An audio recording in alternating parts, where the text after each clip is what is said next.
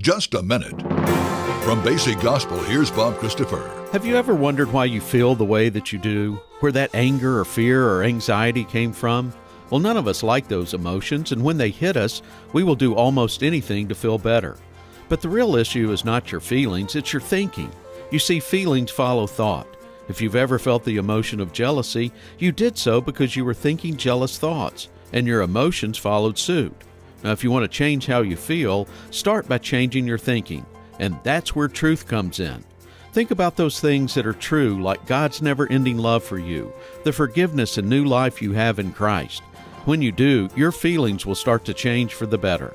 I'm Bob Christopher, and for more daily encouragement delivered right to your email box, sign up to receive our e devotional Hear, Believe, Live. Visit basicgospel.net and connect deeper with God's love every day. That's basicgospel.net.